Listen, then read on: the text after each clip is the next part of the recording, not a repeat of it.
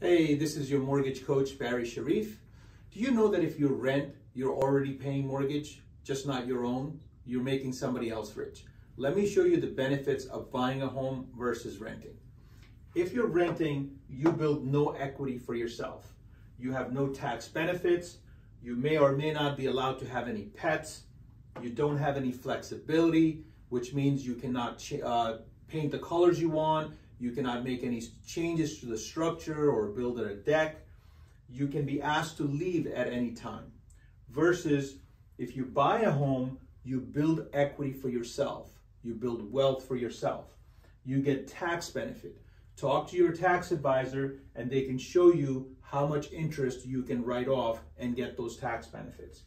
You can have any pets you want. You can have a dog, a cat, a bird, or all of the above.